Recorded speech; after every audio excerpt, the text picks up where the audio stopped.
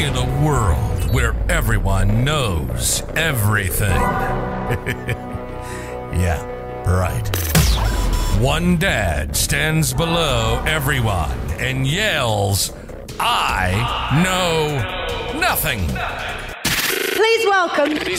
This is the Dad Who Knows Nothing podcast. Well, welcome everybody. This is the Dad Who Knows Nothing podcast. Very excited today to have Kevin Kepple with us. He is the owner of Kepple Coaching.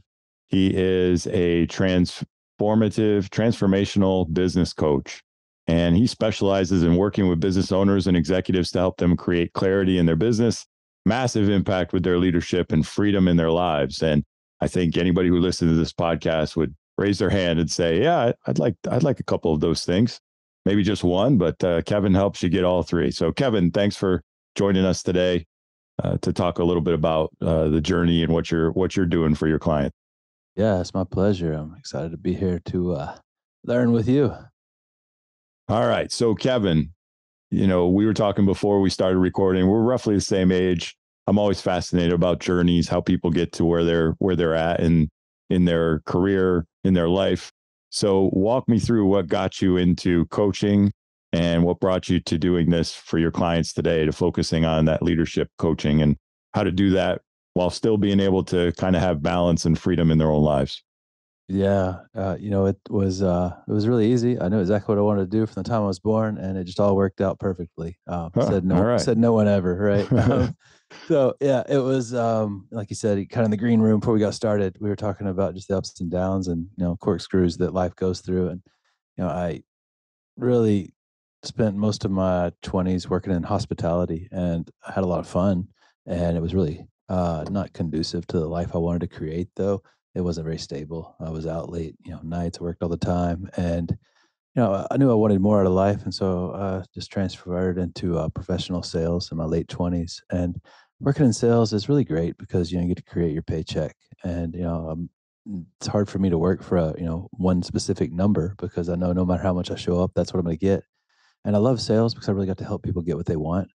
And um, you know, I worked in enterprise software sales for a number of years, and then I ended up working in financial services sales. And you know, we were talking a little bit about that, and I was having a lot of success. You know, you you have success in that industry, you win trips, and you know, I was like winning the trips, and I got promoted to director of sales because if you're good at the job, you get promoted, right? And then you should be in charge of people. And I really like that because not being in charge necessarily, but I really like getting to empower and inspire the people behind me and I was finding so much like joy in that, and it felt so good. But I couldn't figure out why the rest of the job wasn't like just it didn't light me up. There was no passion in it. There was at first when it was new, and but once I kind of like you know quote unquote figured it out, I never like figured it out completely, of course. But I started getting kind of these diminishing returns, and I, I would work harder, and I was getting less, and you know I got a pretty big check once, and I just found like that there was not one thing I wanted. I was like, dude, if this was two million dollars, I don't think this would bring me any, you know, level of happiness, aliveness, or connectedness. And if I'm disconnected and unhappy, what's the point? You know, like you can have all the money in the world, but if you're unhappy, you're unhappy. You know, no amount of money is going to change that. And I was working with a business coach at the time, and he was a pretty funny guy. He was uh, in the Secret Service for almost 30 years, and like those guys are very good at stoically standing still and making you uncomfortable. I, I've learned, and I'm sure you've seen them on TV. Like, and he just look at me, and I would talk, and I would keep talking, and I would talk some more. Like, hey, you should be an interrogator. He's like, yeah, I used to be, and uh, like it was so good at getting you to tell the truth quickly. Not that I, you know, you're trying to lie, but um, I was just ah, talking about yourself is sometimes a little sticky, especially you know when you're a little younger. And uh, he's like, "Dude, tell me what you really love about your job." And I said, "I love this, I love that." And da, da, da, he goes, "Dude, I don't even think you like your job. Stop." What are you talking about? He's like, "You don't even look me in the eye when you're talking. You're kind of like slumped down in your chair. Your tone got really soft." And I just I don't feel like you're telling yourself the truth. And you know what I really liked was helping and mentoring people and empowering and inspiring the people behind me, helping them be more without making them feel like less. And my coach basically said to me, "He's like, you should be a coach." And long story short, that's what I decided to do. I found a job with a um, billion dollar company based in Dallas, where I live, and was a national sales coach and leadership trainer for them for a number of years and I got really good at uh, you know helping people just step all the way into their genius and using that to serve. And so, years ago, I stepped over, started doing my own thing, and uh, now that's what I get to do every day. I get to help you know people with growth and giving. That's the whole point, right? Grow as much as we can, so we can give it all away. And you know, it's it's a pretty pretty uh, profound way to get to go through life when you get to you know create the way you want to create with who you want to create with. So I'm really really grateful that that's what I get to do now. Nice, and you you talked about that uh, connect with their genius um, I've heard that phrase before. What what does that mean? What what can you clarify? Can you expound on that a little bit? Sure. And you know, like I don't think like genius isn't rare. Just people who understand how to use their genius on demand. That's kind of rare. It's like you know, like talent's not rare. Everybody has talent, but people who actually understand how to those talents are their strengths and how they can use that whenever they want, and also what it looks like when it completely gets in their way, because that's our natural sources of power. And really, you know, what we do, I mean, it's pretty simple. There's four zones we kind of walk people through, and we take them through the that mindset, heart set, coherence. You know, because so many people just get trapped in their mind, and that's all they use to process. But the mind's finite; it has a beginning, it has an end, and so you, you know, you know what you know, but that's it. There's no, you know, creativity in that, and so we spend the next, you know, block of time in creativity, really helping people understand how to express, you know, their unique version of genius into the world, whatever that may look like. And you know, when you really get people, you know, lined up coherently, creating in the way that only they can, that's when peak performance and peak experiences or flow start coming into life. And you know, flows like when we get those like profound insights that are like life changing, and we get this elite performance, and we just feel really good. And really, the last part of what we do is helping people understand influence. You know, like influencing themselves and influencing other people because I can't give what I don't have. If I don't know how to influence my own behavior, I definitely don't know how to influence yours. And so helping people really understand, you know, what they are and the contrast of what they aren't. I used to try to be good at everything. Obviously, nobody's good at everything. I found myself doing a lot of things that I really didn't like doing. Like I should not be coding a website ever. I should barely even be on a website. You know, mm-hmm. like the opposite of functional with technical skills. But you know, I would try to do everything because you know I see somebody who was good at something, I would compare myself to them.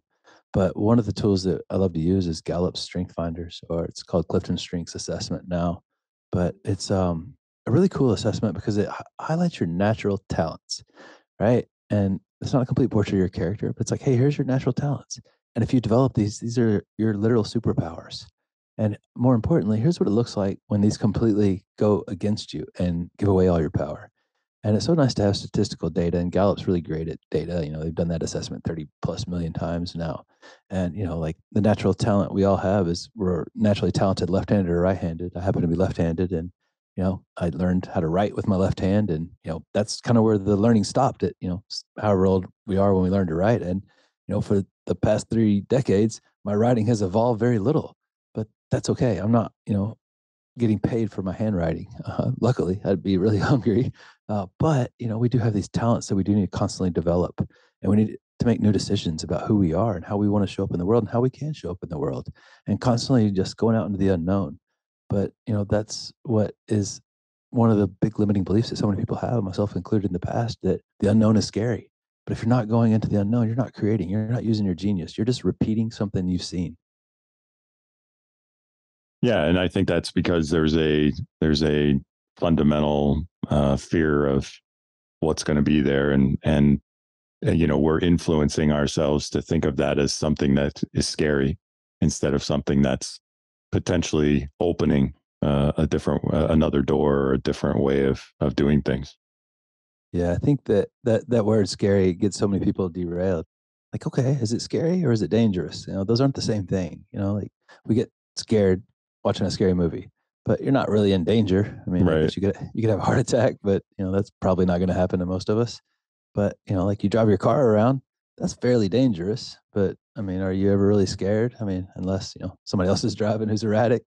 but you know, it's like, man, if you're not going to, eh, you shouldn't be scared of the unknown. You should be scared of not going into the unknown because you're going to create, you know, that Groundhog Day. Except it's not going to be fun like it was for Bill Murray in the movie and you're gonna get kind of the same situations, the same people. Like, why does this keep happening to me? Like, because you're refusing to change. You're clinging to this known life that you you might not even want, in spite of what you do want over here in the unknown. So, when you talked about the superpowers that you can kind of identify, and it becomes that superpower, is that is that uh, aligning them with their hero? I, I know I've seen that in some of your information as well. Aligning them with their hero inside is that tapping into those superpowers and being able to leverage those. Yeah, you know, like the hero's code is basically, you know, what does my elite performance look like, and what does my genius look like? How can I do that on demand, and how can I do that in you know the most you know unique way I can? Because that means I'm owning my truth. And you know, we all have a very specific you know skill set, right? Like Liam Neeson, right? And Taken, a very specific skill set. But uh, I think that it's the comparison game that gets so many people sidetracked. They look at you know brother, mother, social media, whatever, TV. Like I should be like that, and then the shoulds start happening. Mm-hmm. Like no, like if you're truly creating, there's no example of what you're doing, and there's like a when it comes to Gallup Strength Finders, you know, there's 34 of them listed. It's always the same 34, just a different order. And like you know, again, I've never seen a blank one. Nobody doesn't have talent, but the likelihood that two people would have the same top five in the same order is like in the like 20 or 30 million. So like we're we all know we're different, but how often do we actually own that? And like, you know, your hero's code is going to be like, you know, when you're completely dialed into your gifts and you've totally, you know, detached from the outcome and you haven't created any expectations of where you're going and you're just living in flow. And, you know, flow is like maybe overused now, I don't know, but there's lots of different types of flow. But, you know, in the first book on flow, Flow by, you know, Csikszentmihalyi, greatest name, uh, it, it talks about the happiest people on earth are the people who have the most flow. You know, we're we're biologically des- designed, you know, for evolution purposes to find flow as much as we possibly can. And flow feels really good as an individual or you know when you're with one other person or in a group. And like, you know, you're you can get into flow for, you know, micro flow for an instant or you can do macro flow for days or weeks at a time. And when things are just easy and just because it hasn't been doesn't mean it can't be. But when you really understand how to dial into your, you know, unique hero's code like that, you know, that allows you to really make new decisions of what's possible for you and you know your work yeah no that's that's all great great points and and i think you know i think it's it's a pretty good segue into talking about it from a leadership perspective because you know i think i think internally we can all be leaders of ourselves right we can influence our own thinking we can uh, maximize those talents as you mentioned we can constantly be striving to grow as individuals. That to me is leading. But when you talk about leaders, you know, and leadership roles in corporations, and you work, you know, with a lot of leaders from probably all types of uh, backgrounds, what's the number one thing when you're talking about a manager versus a leader? What what what do you think is the biggest differentiator between those two? Yeah, well, I think a manager is a position and leader is more of a behavior. You know, leadership's a behavior and action, right? We don't get to call ourselves leaders. Like, I don't get to tell you that I'm funny, right? If I'm telling you jokes and you're not laughing, then I'm not that funny. I'll just see my wife for more details on that. Uh, but, uh, you know, I think with leadership, like the number one way you know that you're managing is if you're telling people what to do. You know, John Maxwell is one of the greatest leadership, you know, experts out there, right? Leadership is influence. And, you know, his book, Five Levels of Leadership, like he's such a uh, prolific writer that he keeps it really simple. And that shows he has a deep understanding. It's like level one of leadership, like not being the highest level, level five is the highest And his uh, pyramid or whatever he calls it. But level one is like where you're just managing by position. I'm the manager, so I'm going to tell you what to do. Mm. That's that's managing. But leadership is inspiring and empowering. If you inspire me, right, you stimulate me to action. If you empower me, you give me the knowledge of what to do with that stimulation. And I think that uh, you know, like myself included, when I was first put in a leadership position in my twenties, like my model of leadership was uh, very violent. He yelled a lot and screamed, and he just wasn't in a happy place. And like uh, is that uh, I mean, I'd had coaches and stuff like that. I had leaders around me, but this was like the first professional leader, and like the way that I got people to do what you know I needed them to do. Like I'd be like, hey, um, to protect his name, I'll change it. Let's say his name was Carl, but I'm like, hey, Carl's coming back in a little bit. If you don't do this, like you're next, you know, and like that is not leading. That's intimidation, right? So that's obviously not conducive to you know creating trust for the people that you lead, which is you know imperative. Yeah. You talk about influence. Obviously, influence, you know, leads to culture. It all has an impact on that. I think I think as leaders, the thing that most leaders would say that they, you know, that would move their whatever team or operation that they're leading is it's not so much you know getting getting those high performers to to perform even better right? Because we know that there's there's only so much that an individual can do even a even a high performer. But it you know and I've often said this if I could get you know my lowest performers to just get to an even or an average um that's a win. But how do you how do you transform average into exceptional? How, how do you do that as a leader Man, that was such a great point you just made. I hope uh, anybody who's listening really captured that because you know everybody is going to be different and everybody has capacity, right? Like you know, there's only so much we can give. Um, I love Urban Meyer's book Above the Line. It's a super simple book on leadership. One of my friends went to Ohio State, and so he made sure I had a copy of that. Um, mm-hmm. and it's like loosely based after they won their national championship year, kind of the way he tells the story. But he talks about kind of the percentages he works with on his team. He's like, you know, have like that top 10%, the superstars. He's like, I don't really spend a lot of time with them unless they ask me for specific things. He's like, they're going to perform at really high levels. They don't need much, but maybe a tiny tweak here and there. And he's like, then I've got the bottom 10%. He's like, really, no matter what I do, they're not going to do that much. And they're going to take a lot of my energy though. And he's like, I spend most of my time. He's like, there's a bottom middle and a top middle. He goes, the bottom middle, I can usually move to the top middle, and the top middle, every now and then I can move them into the top 10%.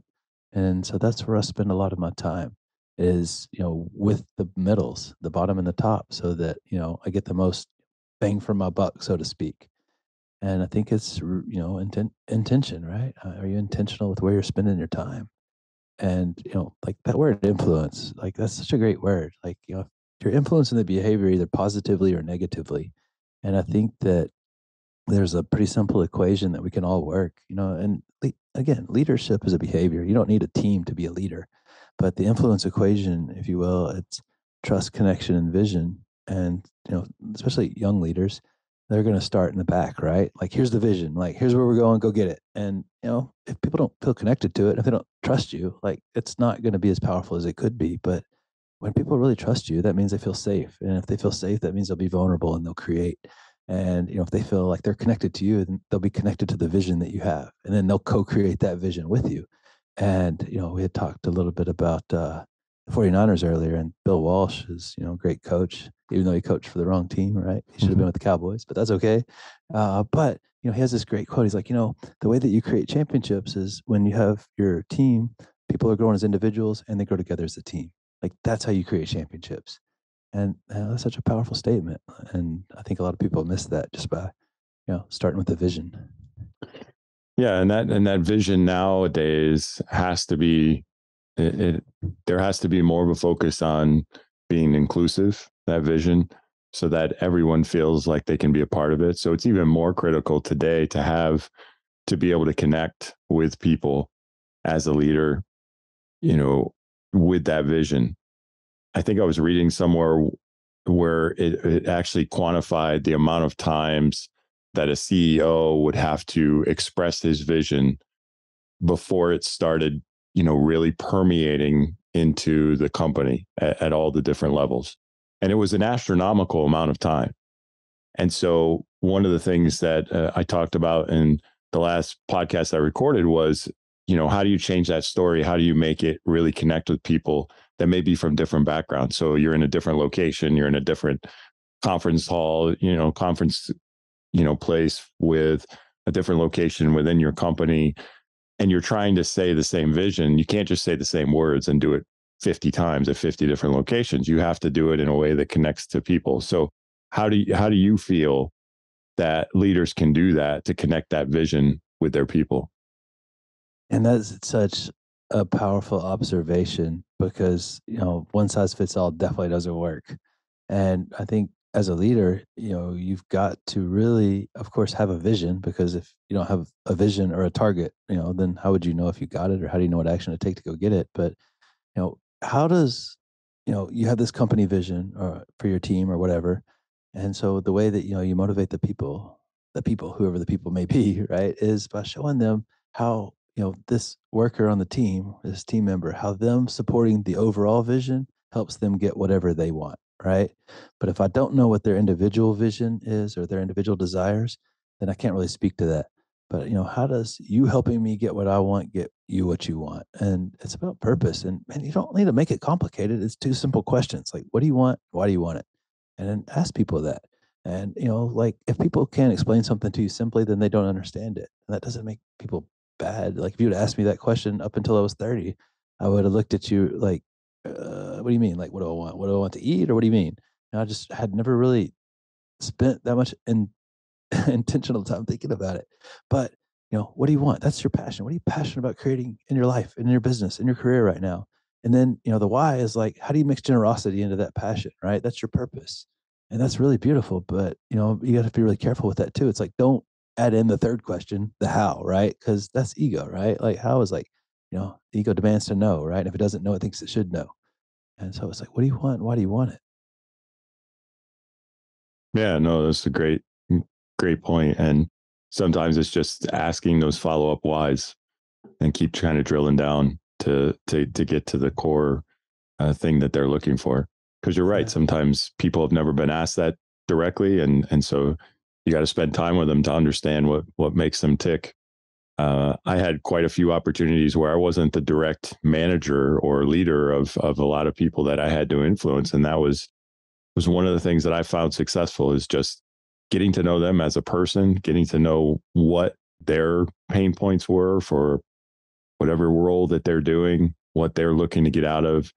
And then if you can attach that to whatever strategy you're working on, then you got that connection. And hopefully you can keep, you know, building on that. And, and that's the bridge to influencing them to uh, help you with whatever you're trying to accomplish, right? Because you know you need buy, their buy-in. Yeah. Well, I mean, people are always asking kind of three questions, right? Of the leader internally. It's like, number one, do you like me? I feel like the leader doesn't like me. Like I definitely don't feel safe. Right. And then like, can, can, can I trust you? Like, you know, are you, are you authentic? Are you, you know, showing up as who you say you are? And the last question, like, can you help me get what I want? You know, like, is what's yeah. important to me important to you? And like our actions are going to really answer those positively or negatively. Yeah, no doubt. So I do want to ask uh, one you know, we've talked about a lot of things that leaders can do to help, you know, with vision, to help. Uh, what's the differentiator? What, what's the worst thing you can do as a leader? I mean, the worst thing you can probably do is make it all about you and really, you know, just attempting to be right instead of kind. Because I've never walked away from a leader who's right about everything and felt good about myself or felt good about them but I've walked away from a leader who was really kind, especially like down the road when I realized that I was completely wrong about something, but they were just being graceful with me. And, you know, they didn't use that sort of truth that we have and chop me off at the knees. Maybe they just pointed a little bit with it.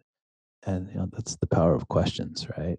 It's like really, really beautiful when you have somebody who's graceful and delicate that just doesn't need to be right, that just wants to be present with you. And so, you know, as a leader, if, you know, being right is more important to you than getting what you want, like there's a huge disconnect right there. Yeah, absolutely. So many strong leaders that I've that have impacted me and I've have heard that, you know, of others that have impacted other people. They've all said something similar to the fact of, you know, when I talked with that individual, he made me feel like I was the only person in the room. And that setting could have been a bunch of people and he you know he was just asking questions from different individuals and they had a chance to ask a question and that leader was able to make them feel like they were heard and i think that gets into the inclusion piece that gets into diversity and all the stuff that is so important and so critical today and it's it's really just from a behavior that's being modeled by an individual that's saying it's not about me it's about you and yeah i may be in this position but uh, I'm taking feedback that I receive because I don't know all the answers, but we're going to work together to find the answers. I mean, you, you, said such a great statement. Feeling heard, like that's all we want as humans. Like you don't have to agree with me, just hear me.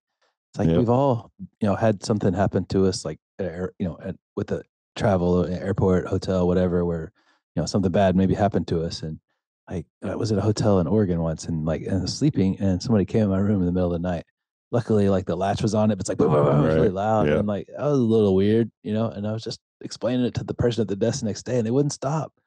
They wouldn't let me finish. I was just let me finish. I wasn't even upset. I was just like, hey, what if I was, you know, a, a woman and that door wasn't locked, or you know, or me and it wasn't locked, you know, and something bad happened. This is really dangerous. It's a big deal. And I just wouldn't even listen to me. It's like, no, we'll give you a free room. I don't want anything. I'm just like, just hear me. That's all I wanted. And I was right. so frustrated because yeah. like I wasn't frustrated when I walked up there, but the fact that they just wouldn't listen to me, I felt I didn't feel very valued. And you know, like in a professional setting, like, man, like your best asset is the people. Like you should cherish them and you know, value them. And all you have to do is create a space. Like you said, it could be in a crowd, it could be one on one, whatever. Just show up for people and be present. What a gift to give somebody. Yeah. I wanted to ask you, Kevin, what in the last few years, obviously coming out of this pandemic, things are starting to get back to normal. What kind of shifts have you seen in what leaders are looking for from someone like you, as opposed to maybe before this whole crazy storm of a worldwide pandemic happened? Uh, have you seen big shifts in what they're focused on, what they what they want? Are there specific problems that maybe you're seeing more? Yeah, you know, really, I've seen a huge shift in focus from people, you know, when they come to me, a lot of times it's to work on themselves, of course, but it's more in like working on themselves so they can connect with people and build better relationships with the people that they lead. Because people now more than ever are really picky, so to speak, for lack of a better term, about where they work and who they work for.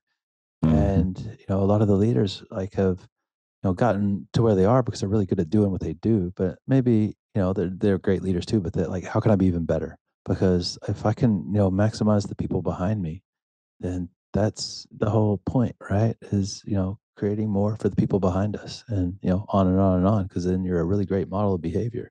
Because you know the highest level leadership is when you're a leader that's creating other leaders who create other leaders.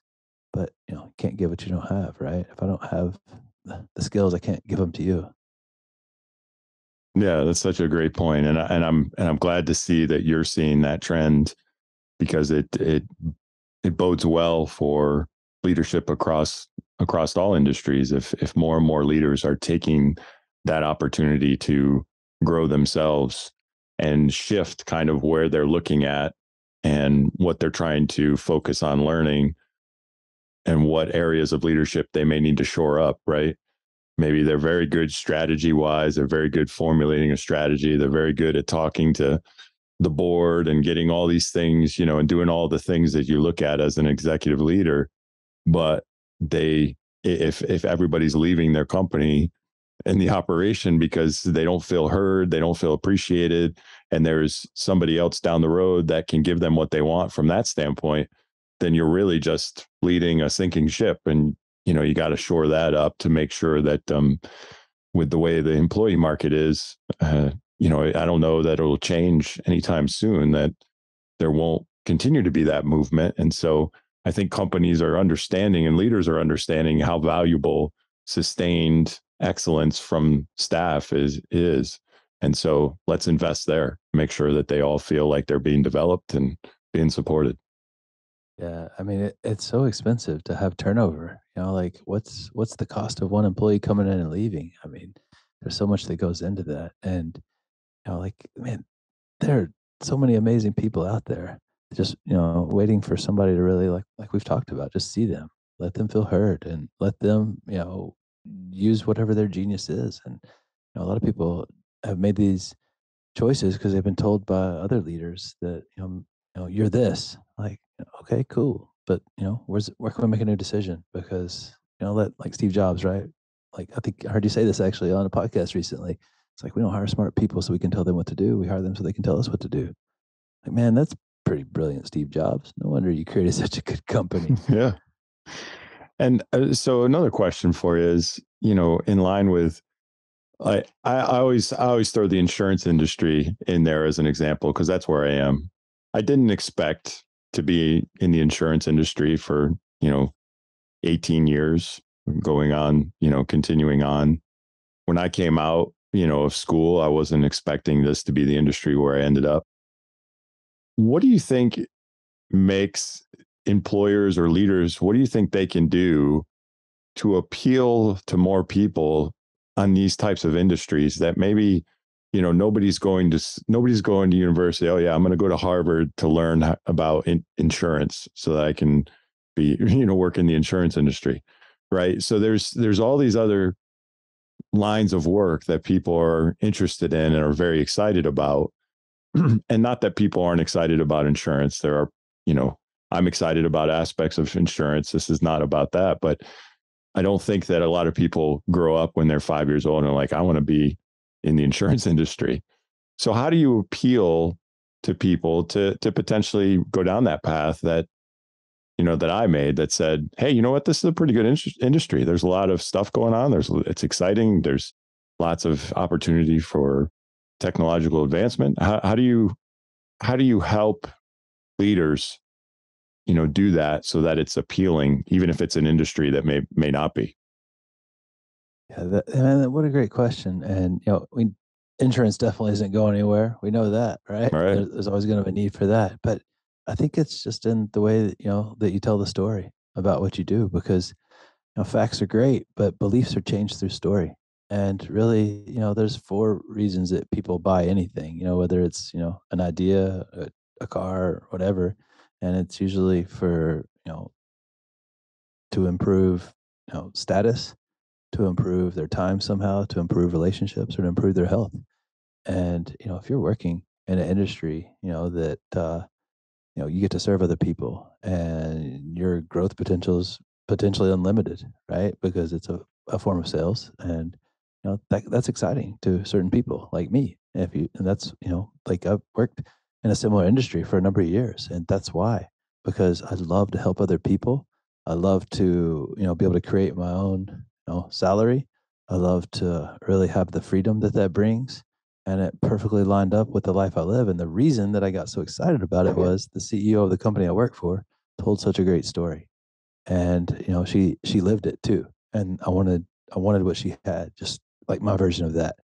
And so, you know, being really authentic as a leader and, you know, like, are you doing what you say, you know, you're doing and you, you know, true to your values and you know the right people will show up and the right people will go away and i think that's you know how you play to the edges. Yeah.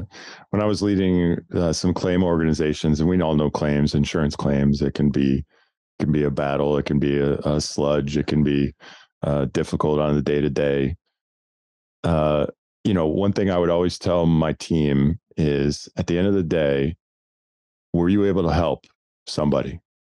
Yeah. were you able to you know help someone to get them the benefit that they that they're entitled to? Were you able to explain something to someone that they may have been confused on? Were you able to set someone's mind at ease because you let them know that you got this? I'm going to take care of this for you right? And i said if you did any of those things despite any of the aggravation or any of the other things that you may have dealt with today you made a difference. You made a positive impact. Focus on that come back tomorrow and let's do it again right? And so yeah to your point the story is so critical and i think that's at, at all levels of of any industry any business is crafting that story. That's where the data comes in you know data is only numbers if you don't have a story behind it. So yeah it's such a great point. Yeah i think that word help is so good you know like everybody wants to help. And right. you know like you don't have to be in a specific position to help. You know, sometimes helping is just showing up and being present for people and being a human, and you know, showing up without judgment. And you know, like we're all created out of this infinite love, right? And like that's unconditional love, not like I love I love you if you show up this way, right? Right. Like that's that's attachment. That's not love. Yeah. Wow, this has been a really good conversation, Kevin if there's anything that you'd like my listeners, our list, the listeners of this podcast episode to walk away with after our conversation, what what would it be? I think just be gentle. You know, be gentle with yourself. Be gentle with the people that you interact with. You know, we're all in this thing together. We're all doing the best we can, and you know, we're all basically in the middle of life in some form, and everything looks kind of like a failure and messy in the middle. So be gentle with yourself, and you know, just if you're not getting the results you want, don't sweat it. Just do better next time. No big deal. Yeah, well said. Uh, so, if anyone on this on the podcast wants to uh, reach out to you or learn more about you, is is, is the kevinkepple.us website is that the best place for them to go? Yeah, or LinkedIn or Instagram. Okay. It's Kevin Kepple everywhere. So wherever right. you like to go. Sounds good. I'll make sure to connect with you on LinkedIn. We'll we'll stay connected as well. I'll put the website in the show notes, uh, so all the listeners will have the opportunity to go there as well. So appreciate your time, Kevin. This was a great conversation. Uh, thank you very much for the time. Appreciate it. Thank you for joining us on our journey to learn about various topics. If you'd like to get in touch with the dad who knows nothing, connect with him at the dad who knows nothing on TikTok and Instagram or dad knows zero on Twitter. If you have a moment and you like this episode, drop us a review wherever you listen to your podcasts. Have a great day and enjoy your journey through this game called life.